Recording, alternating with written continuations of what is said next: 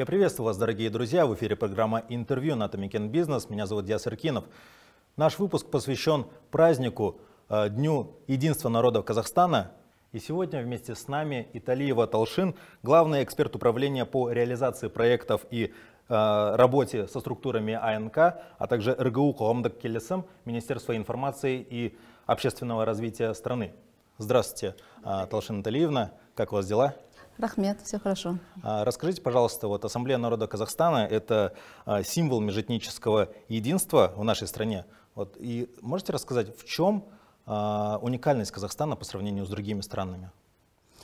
Да, 1 мая мы отмечаем в стране День единства. Это день, когда мы как бы все этносы сплоченно отмечают такой большой праздник.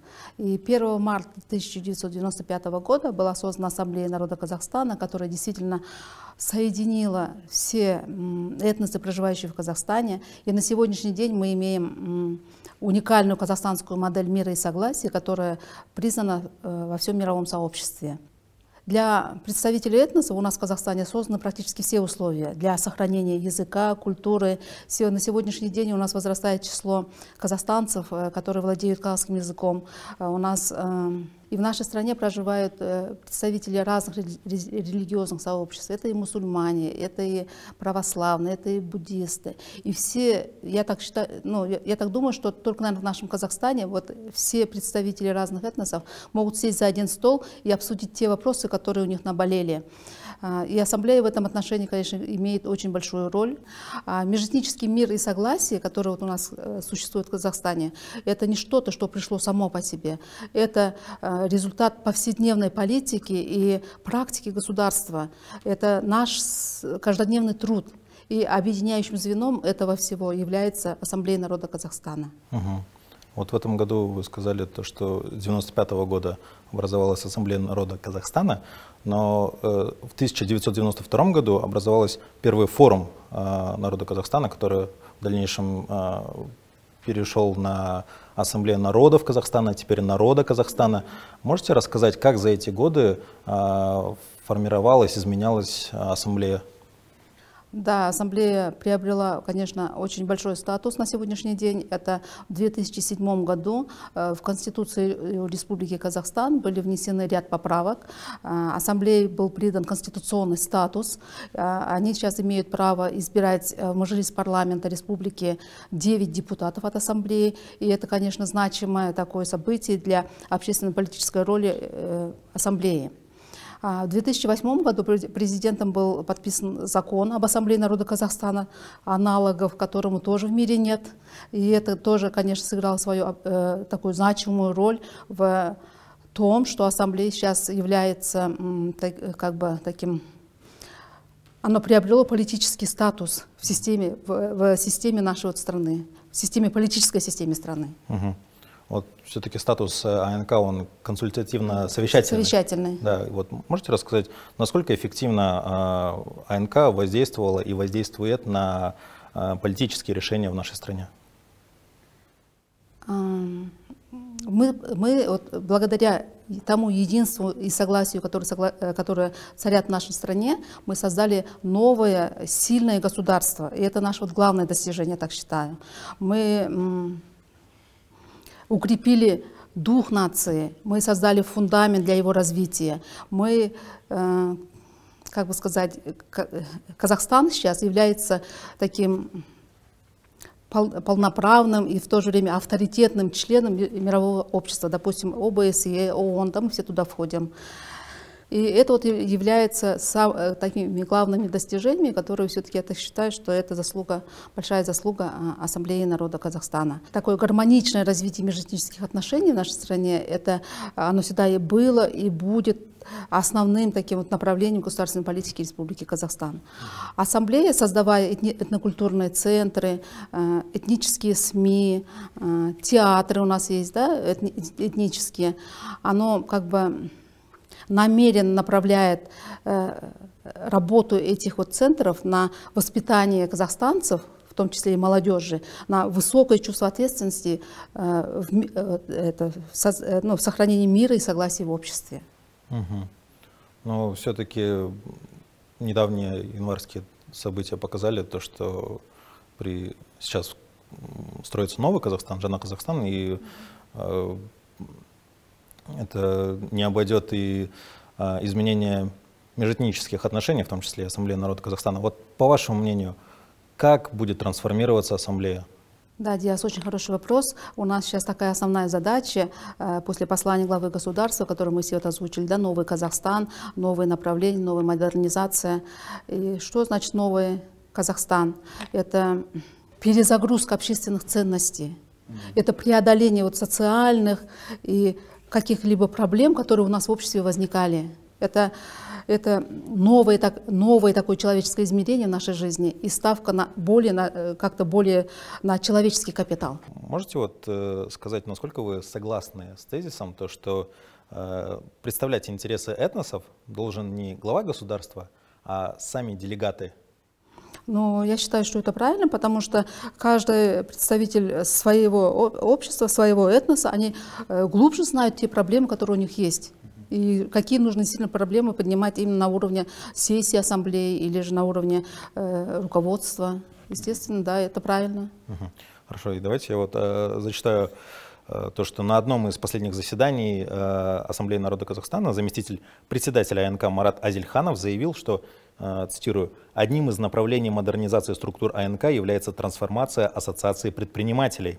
В рамках модернизации и перезагрузки всех общественных структур АНК полагаю, что настало время переосмыслить цели и задачи, а также обновить э, направление деятельности и планы работы ассоциации. Можете сказать, э, как именно будет трансформироваться э, Ассоциация финансистов АНК?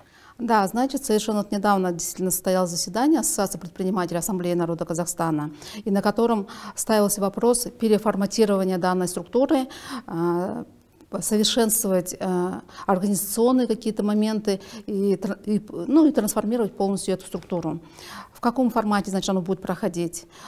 Будет открыто, вот уже не, э, скоро вот будет открыто единый фронт-офис, который будет работать э, в городе Нур-Султан, и, но будет координировать работу э, всех э, предпринимателей области, там же, там же будет работать как бы обратная связь с предпринимателями области. То есть это будет как бы диалог между действительно вот ассоциацией, властью. Э, ну, все равно Ассамблея народа Казахстана, она как бы является институтом гражданского общества, но это как бы служит тоже площадкой между государством и, э, допустим, теми же предпринимателями. И это будет уже фронт-офис, который будет доступен всем. И э, те вопросы, которые вот у нас не решаются, они могут решаться через этот фронт-офис. Угу. Хорошо. А есть ли у вас еще что-нибудь, что вы можете рассказать об Ассамблее народа Казахстана вот именно в ближайшем будущем? А, ну, Ассамблея народа Казахстана — это не только э, этносы, это не только ассоциация предпринимателей. Ассоци... Э, Ассамблея народа Казахстана, оно, как, бы, как мы сами ранее уже говорили, имеет конституционный статус и является как бы институтом межэтнического согласия в, общ... Э, в стране. Да? И поэтому вот, в Ассамблею входят более 100 представителей этносов, и активно работу проводят еще и общественные структуры. У нас э, э, есть общественные структуры, такие как Совет общественного согласия, Советы матерей, э, молодежное движение есть, Ассоциация предпринимателей, мы уже сказали, клуб журналистов. Вот если вот коротко остановиться на каждой из них, вот по две строчки я вам хочу ознакомить что Ассамблея народа Казахстана это не только представители этнокультурных объединений, это еще и представители Аксакалов, это представители активные такие, авторитетные люди, которые проживают в основном в Совете общественного согласия. Они, они у нас э, работают с 2014 года и в основном в отдаленных сельских местностях, да, э, в районах. Их работа заключается в том, что они проводят встречи с населением, э, слышат их проблемы, вопросы и доводят это все до государственных органов. А, кроме этого, они принимают активное участие в благотворительных акциях, помогают нуждающимся, знают, что нужно для населения, какие вопросы им нужно решить. Вот помогают вот в этом направлении. Совет... Можете Угу. Пример привести, короткий буквально. Ну, короткий пример, это может быть даже то, что, допустим, в э, э, отдаленном сельском округе э, долгое время не ремонтируется дорога или же не строится школа. А, Совет общественного согласия, представители этого Совета общественного согласия, члены, они могут обратиться к Акиму а, или же к депутатам и поднять этот вопрос.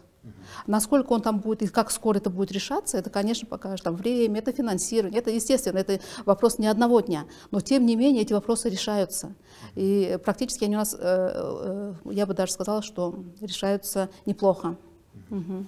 Ну, то есть у этих общественных э, объединений есть такой некий свой голос, который слышат Да, конечно, да, да, да. Угу.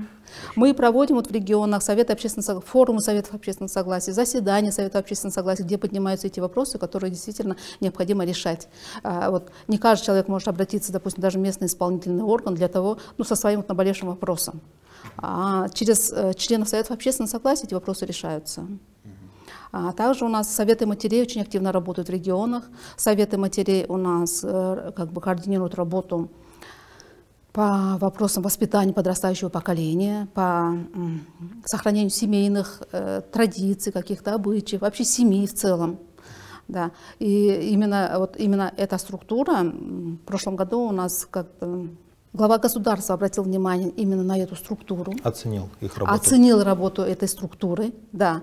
И э, на состоявшемся расширенном заседании Совета Ассамблеи народа Казахстана, который состоялся в октябре месяце прошлого года, э, дал э, как бы поручение э, разработать и реализовать э, республиканский проект Мадинет Тана, Мадинет Олд.